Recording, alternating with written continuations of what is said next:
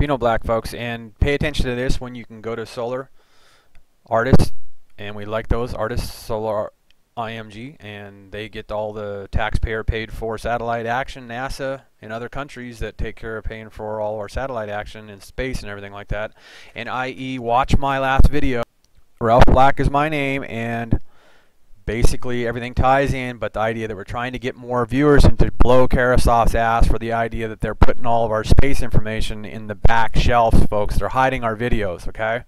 So there's lately been a lot of YouTube BS going on because if I ever accept any money for advertising, it'll be at my pirate site, okay, where they'll have all the copyright 100%, okay. Now they made this, the government did or whatever control because they didn't want me to send out the idea of Lovejoy and the idea that something by Mercury was on fire or bigger or whatever, okay. And also the idea that I might have a theory on electrical that the idea that it maybe was Lovejoy. They could be correct, but we still don't know for sure because we're going to keep on seeing Lovejoy. Okay, where the hell is it? Okay, because no one's given us any shots of Lovejoy after going away from Soho. Okay, so we still think that more than likely it's Mercury. So watch these videos and the idea that they didn't let me, you can see right there, they didn't let that go because the idea that's the truth. There's fair use and copyright infringement bullshit going on. Carahsoft is a private corporation. It's not the government, ladies and gentlemen. They do a great job on the military side. We love everything that they do. A civilian, being on us civilians, it's against our constitutional rights. Carahsoft is BS. Okay? Spy on spies, not American citizens, tax-paying citizens. So whoever's kissing my butt right now, Carahsoft or government ops or whatever the hell, is the idea, here you go, i.e., you can map out everything that's around Earth, Okay, Earth, Earth. You can check out where stereo A and B is every day when you look at your magnetism that's going through space from the solar blasts and also the supergiants, okay? When they show you these EMTs coming in, it's also EMTs from the supergiants, ladies and gentlemen, i.e., okay? The idea the supergiants are out there, folks, okay? Out here.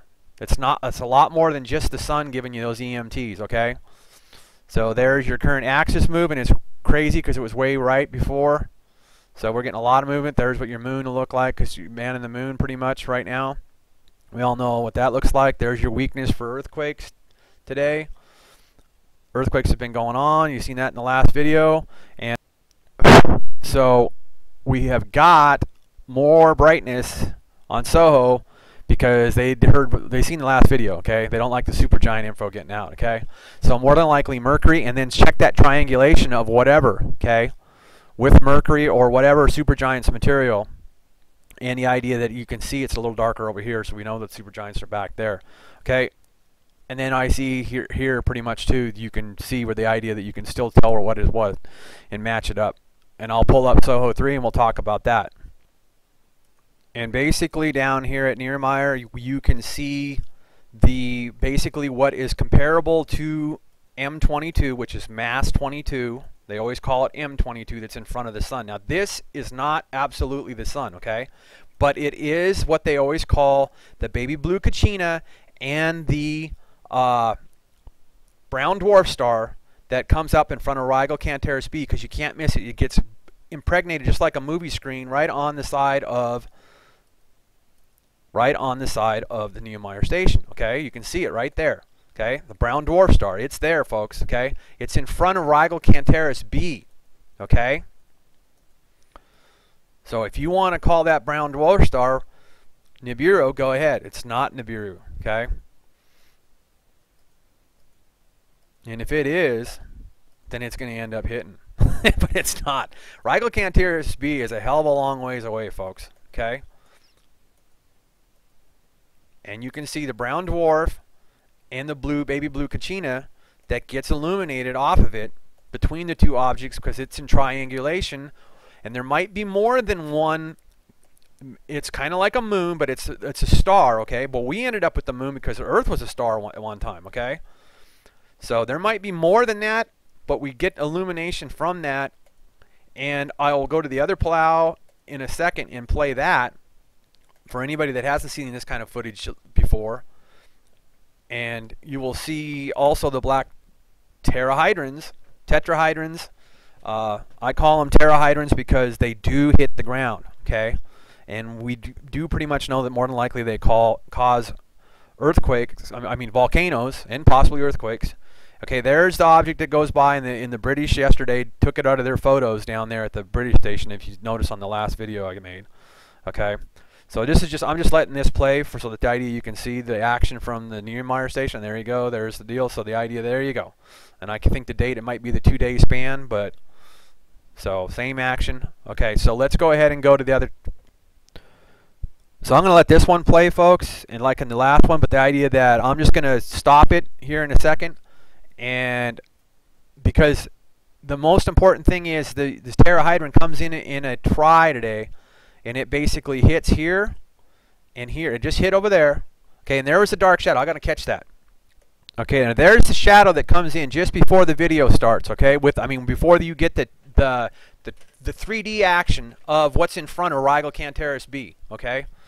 And yesterday's, and I'm going to try to be, see if the next video or so, or this one, if, if I can pull a picture out where it actually shows the three separate shadows yesterday's. And here's this triangulation. You can see it right there, the three whites, okay? And then that one is there and off and on. I mean, it kind of comes in and out. But I'm going to get you the terahydrons, and then that was that up there, and also this here, okay? So you can see a lot of stuff if you take a look at the video, okay? Okay, here's our first terahydron comes in. Bam, that's not a human. Okay, gone, right? Okay, now watch the other one show up. Now this is a marker they've got, and I'm starting to wonder if this is a marker or if this is just something from space that's getting dark light. Okay, pay attention to the clock, and then right here, you'll see your time, and then, oh, miscued, I hit the play button. There you go, there's another one. And then it's over here, and it's in triangulation with that and the, we they have that set up down there. That's a marker that they have. Now I'm wondering if this is a marker that they've got new that I haven't seen before or not. Okay, but we do know that that's a marker that they've put out there before. Okay, so bam, terahydrons, and maybe they're mapping them out. Who knows? But these are straight up popping in and out of the video, folks. Okay. They're not walking out there setting this stuff there. It's there. It's popping in from the sky. Touching the ground. Terahydrons, folks. Terra meaning terra firma. And all of our closest passes with most all satellites with uh, even our space station, okay, the International Space Station, or, you know, other, other countries too. Thank you, other countries. But it, it, the idea, here you go with, i.e., the BS of Phobos Grunt Phobos grunt, okay? It's covering up for asteroids and stuff that are hitting the ground. Now, this thing might hit the ground. Maybe it's screwed up. But if you pay attention to what news companies put on there, that footage, it was the worst. Uh, there used to be the flicks of uh, King Kong fighting uh, the the deal over there in the one country that gave us the Fuka Fudge up, the uh, Godzilla, okay? Godzilla and whatever would fight, Godzilla would fight whatever, okay? Well, it's BS possibly now. Phobos might end up hitting the ground because, but it's looking at a bunch of stars that's coming back because I can go and in the future, if anybody requests, and I can show you all the stars that it's going by, and it's getting some damn good shots. I'm figuring. So the idea that it might hit the ground, hit the Earth, but they called it back. Okay, so it's a bunch of BS because everything ends up in the same area, folks. This is the east coast of yes, the east coast of Africa, folks. And they blinked in and took my notepad away to cover up the advertising is pretty much where you can get your only place on Earth you're going to get to see a view of these uh, the International Space Station and so forth. And so I mean you can see the satellites going. You you can follow the track, find out the tracks of them, and see where they're going by to get a little bit of view. But the only way you'd be able to get an eye view would be the idea of being over on the east coast of Africa. So keep in mind this is today's star map and everything, and, and you got mass 22 that's in front of the sun. Now this straight line which will show you uh, a and B, Soho A and B, okay? Normally, I, I believe that's correct. And anyway, straight either that or Earth is here or here. Or Earth is here or here. So the idea that you go ahead and go to artists, we love artists because they let us see this map, which will show you the Earth is here, and then we've got stereo B and stereo A. Okay, and uh, the sun is right there, I believe. Yeah, it has to be because the Earth is there. So they still are not giving us a direct shot from Earth on the front and ahead of Sun. It's just that it's ahead of the Sun and it's got to stay out of the supergiants here because the Sun is going into the supergiants. And as you see, yes, that comes in on us, okay? That is the CMT action, okay? So there's no way of them, I mean, they kind of somewhat cover up because basically we have this big CMT action and it comes around, right? Well, it's more than just the sun. It gets even bigger back here. And it flares and hits with the other solar flares of the supergiants and it comes in. The supergiants exist, ladies and gentlemen. And we know that Mercury's pretty much caught on fire before and probably is again because they're trying to cover it up by putting a box around it to make it look like a satellite. Well, Mercury's right there, folks, and that's Mercury, okay? So more than likely, Mercury is probably caught in a flash and is on fire. It's so close that it should not ever be inhabited. There's probably certain times if the sun wasn't, we'd probably be able to sometime in space be able to get on there. Uh, but pretty much uninhabitable because it's too damn close, okay? So, and yes, there's other objects that have been found in the safe zone, somewhere pretty much out here, because Jupiter and Venus are safe, okay? And I believe this is Jupiter's line here, isn't it? Or, or do they have, do they showing us Jupiter? And yes, when people call in and say asteroid belts and this and that and everything like, there's a lot of stuff melding. Milky Way galaxy is melding because the sun is ours in the Milky Way galaxy and the supergiants and asteroid belts, and yes, everything's melding. Everybody's freaking. Are we going through a black hole? The scientists really are. They're not going to say it, but they are kind of freaking. They want to know the hell. And then also at the same time, they wonder, okay, are we going to go? Are we're going to follow the sun? We are going to go in the supergiants. It's got magnetic pull on us. Okay, so it's going to be interesting. The idea of lifespan of the sun and so forth and so on. And we end up with Rigel Kentaurus B as being our sun as we go back through stereo play. But the idea that the sun is still the center of the Milky Way galaxy so what the hell is actually going on? Because the supergiants exist. So interesting V action here also, folks. If I blew that up, matter of fact, I'll blow that up real fast. Notice how we get the line here because Carahsoft's watching what I'm videotaping. Yes, they'd watch the videotapes. They're ahead of us on time when we do our taping. So now, let's zoom into that. And this is the dark black halo that you end up getting down at the Antarctica and possibly on Earth too. That's what that chemtrail was in that chemtrail video. And there you go. You see the V in the action, and something's smacking into the sun, isn't it? All the stuff in the supergiants that smacks into the sun smacks into the sun. So there's a, there's a shot of the sun that you're not going to see from anybody else. Beano Black will give it to you. There you go. Big old circular splat. You can see the circulars. I don't have to point it to you. It'll just mess it up by lo looking at it as they try to make my cursor work too damn fast. But there you go. Yep, interesting shot of the sun, ladies and gentlemen.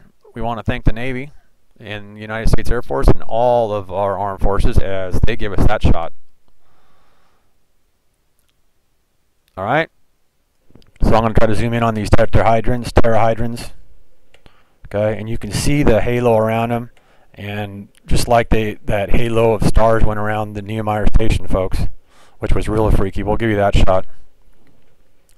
And you'll never forget this shot, folks. There you go.